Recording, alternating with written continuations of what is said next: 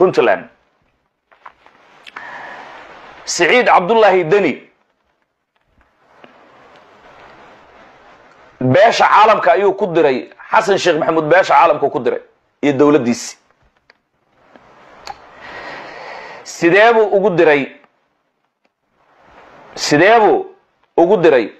Wuxuu ku yidhi nimanka mudaaroodka ah xasan sheekh maxamuud wuxuu doonayaa dalka soomaaliya inuu sidii afghanistan ka dhigo. U n co haddaad xafiiskan aad xirataan oo aad ka guurtaan ninkan cv-giisu waa noocaasi sidaasay qorshaynayaan maamul goboleedyadii baan ka mid ahay ogaaduu yidhi.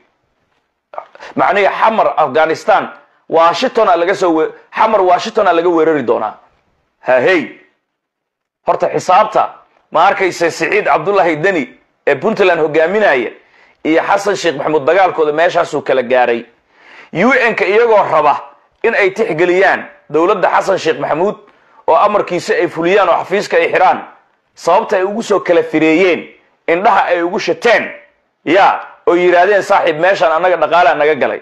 Khataraana ka soo socota ma baylahayno soomaaliya. Soomaaliya dowlad dhammaystiran oo lala xisaabtami karo oo bilaa musuq maasuq ah nidaam iyo kala dambayn leh. Ma hayno oo haddaan bannaanka ka istaagno genocide ayaa dhici karay dheheen awoodda dowladnimada ayaa lagu takrifali karaa. Waxaa loo isticmaali karaa qabiilaad gaar ah ama community gaar ah ama qoysas gaar ah ayaa lagu baabi'in karaa. Cid ka soo warramaysana ma jiro. Annagu laakiin hadda meeshaan waxaan u joognaa xuquuqul insaanka. Macnihii ciddii lagu xadgudbanay inaan ognahay. Riboodhada inaan annagu goobjoog u nahay wixii dhacaya. In soomaalida isdiidan oo hadda wadar ogolka aan ahayn saaxiibu soomaali wadar ogola xataa haddaa haysid xafiiska waa xiraynaa laakiin wadar ogol ma haysid. Ma haysaa puntland ma haysaa somaliland ma haysaa galmudug ma haysaa hirshabelle ma haysaa mayland ma haysaa qabiilaadka dowladnimada hadda adigu aad kursiga ku fadhidid ee soomaalida waxay ku heshiisay waxay kugu dooratay teendhadaan goobjoogka ka ahayn ma wada haysaabaa lagu yidhi. Waa maya. Hadda ma guuraynaa la yidhi marka. Marka xasan marka indhaha loo shidanaayo waxaa ku diray nimanka la yidhaahdo ma arkayse siciid cabdullaahi deni iyo puntland ayaa ma arkayse macnihii ku diray oo waa kan hadda xasan sheekh maxamuud warqadda uu ka noqday oo uu leeyahay cirna ma joogo dhulna ma joogo walaalayaalow ii kaalmeeya. Mana loo kaalmaynayo ilaahayna u kaalmayn maayo. Soomaalina u kaalmayn mayso. Cid caawinaysa haba yaraatee ma jiro. Xasanna dhaqaalo ma hayo xasan marka xafiiskan qaramada midoobay iga guuri muxuu u yidhi cilladda waxay ka soo bilaabatay gabadhii ergeyga gaarka ee qaramada midoobay ahayd oo ingiriiska u dhalatay markii dastuurkan xasan sheekh maxamuud uu wax ka bedeli maagay ay tiri war heedhe wadar ogol baa dalkan xasanow lagugu dhiibay. Soomaaliya ha u horseedin qalalaaso iyo qad iyo qas. Markaasi ay duushay ay ka degtay halka loo yaqaana garow oo siciid cabdullaahi deni oo xasan uu u dhaarsanaa u lahaa macnihii puntland afar iyo labaatan sano ayaa la dhisaayay afar iyo labaatan casho ayay ku burburaysaa. Ayaanu ku burburinaynaa masaajidka uu ka lahaa tabarna u waayey uu macnihii dhulka gelin waayey. Oo siciid cabdullaahi deni uu soo noqday ayay gabadhii waxay tiri master president his excellency siciid cabdullaahi deni. Xasan sheekh maxamuud markaas ayay sokorta ay ku kacday markaas ayuu dhiikar uu ku dhuftay markaasuu xanaaqay markaasuu go'aansaday gabadhan inuu eriyo weliba shir soomaali ay isugu imaanayso gogol in garow la dhiga ayay taageertay gabadhaasi. Waa marka uu dhahayo gabadhan anigu waan casilay halayga macnihi halayga bedelo bedelaadaasi iyadoo ay taagan tahay. Haddana baydhabay ka degtay. Baydhabo markay etoobiya intay soo martay waxay ku tiri wadar ogol baan idinku ogahay. Siyaasadaada waa la dhaxsanay lafta gareenow gogashana garoway taallaa. Go ahead.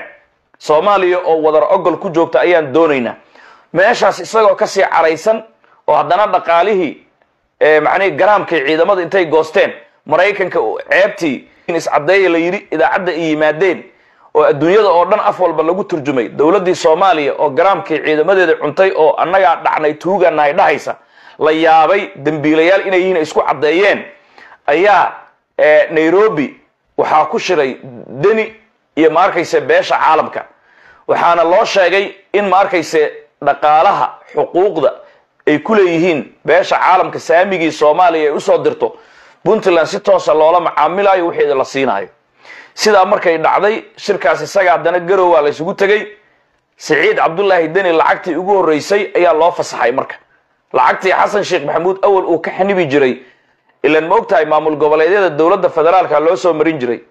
Waa tii lagu yidhi siciid xasan sheekh maxamuud warniyow farmaajo oo axmed madoobe iyo deni ay ishayaan. Haddana farmaajo hal maalin lacag kama xanibin ala yidhi. Wixii aan ugu dhiibno maamul goboleedyadaasi sidooday u siinaayeen. Laakiin adigu waxaaga waa dagaal way dhaafeen. Dowladnimona sidaasi ma ahan. Marka siciid cabdullaahi deni wixiisi waa loo fasaxay. Haddii xasan sheekh maxamuud mashaariicda iyo lacagaha uu ka xanibi jiray kenya shirkii kadib waa loo fasaxay boqolkiiba shan iyo toban lacagtii ugu horreysay hadda koontaday ugu soo dhacday. Puntland anaa ku dhahay fifteen percent wixii ma arkaysa xaq ay ku lahayd dowladda federaalka oo loo soo marsiin jiray beesha caalamka inta laga soo qaado oo dowladda federaalka inta loo soo marsiiyo lagu canaadi jiray puntland boqolkiiba shan iyo toban horudhac way u soo dhacday. Toosaa loogu soo diray. Xasan ma soo marin? Dowladda dhexe sooma marin xanaaqaasi ayaa wuxuu keenay marka. Caradaasi ayaa waxay keentay in uu yidhaahdo xafiiskan hala xira sidiisaba. Ha meeshaan balaaya ka soo socotee hadduu furan yahayna labada kun lix iyo labaatanka meeshaan teendhadii laygu soo celin rabaa. Haddana yacni dad aan rabay inaan dhulka la galo dhaqaalaha intaan ka goosto dhuunta aan ku dhego aan rabay inaan burburiyo oo ciidamo aan u diyaarsaday oo dad aan u diyaarsaday oo aan rabay inaan jajabiyo ayay ma arkaysa igu soo noolaynayaan ee igu soo dhisayaan. Horta xafiiskan qaramada midoobay xasan sheekh maxamuud uu yidhi waxaan codsanayaa soomaaliya ha naga baxdo qaramada midoobay. Sidaas ayuu ku qotomay ee qarannimo iyo wadaniyad iyo dan qaran sida faad yaasiin uu sheegay xafiiskan looma xiraynin. Xafiiskan awal buu ku oolaa. Farmaajo markuu joogayuu oolaa. Ma arkaysa xasan oo jooguu oolaa?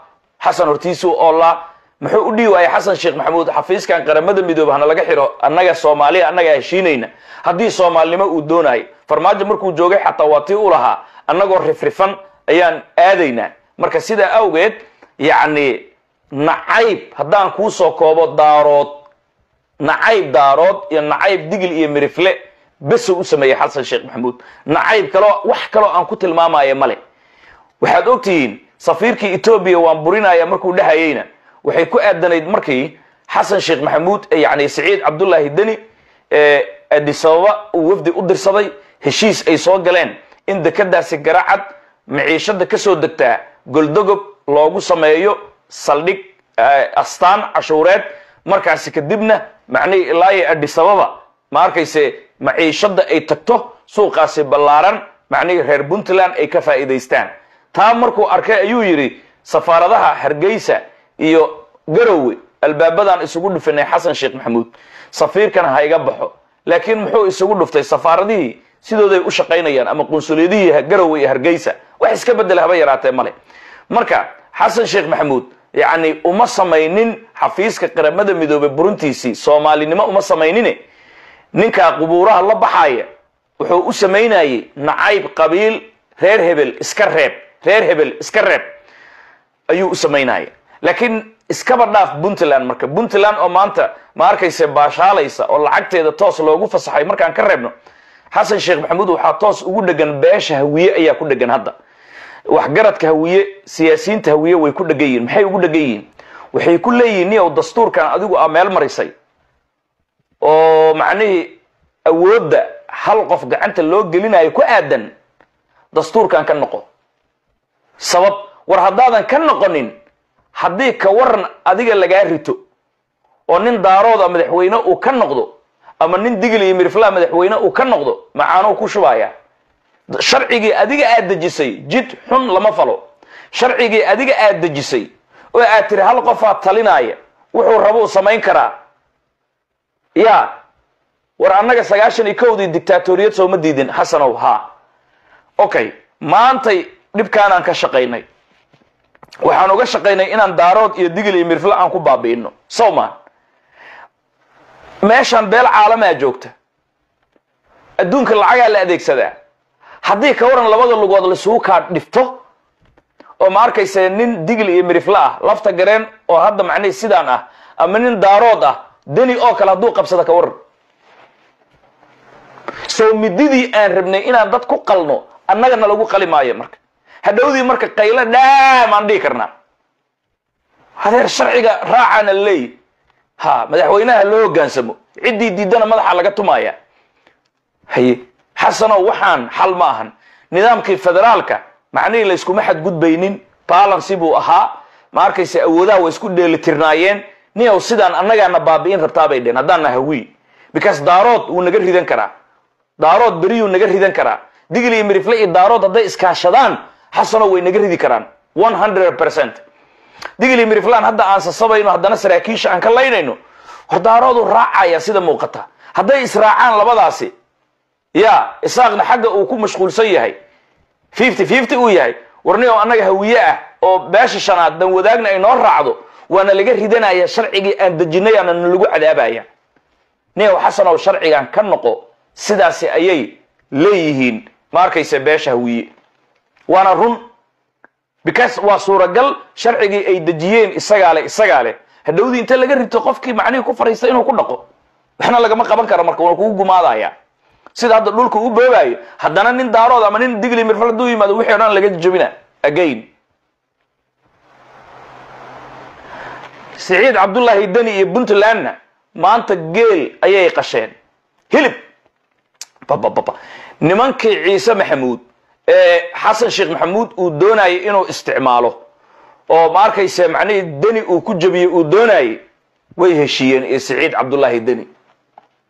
Maantay waxaa weeye waa la ysku tufay laabtaa la isgeliyey hilib baa la cunay bariis baa la cunay cabitaan baa la cunay waxaana lagu faatixaystay labada kun lix iyo labaatanka siciid cabdullaahi deni in federaalka loo diro madaxweynaha federaalka u tartamo ciise maxamuudna lamber kow ay taageeraan hadha hadha hadha hadha hadha marka xasan sheekh maxamuud konton milyan uu dhiibay iyo ka badan lacago kalena wuu diraayay muxuu ku dhiibay lacagtaas? Masaakiintan baahan jidadkan burbursan ciidamadan macnihii lacagaa laga gooyey sow lama rabin walaalayaal in lagu biilo haddii xasan qarannimo uu u socdo konton milyan. Ugu yaraan puntland boqol milyan uu geliyey mayland intaasoo milyan ku bixiyey. Waxaan qarash oo la bixinayo in dadka lagu gumaado dad degan guryahooda lagu gubo fidno laga shaqeeyo. Soo ma qurux badnaan lahayn in mashaariic iskuulaad nabad amni ma arkayse horumar ummadda in loogu sameeyo masaakiintan gurguuranaysa ma arkayse gaajadan taagan in shaqo abuur loo sameeyo beeraha la geliyo.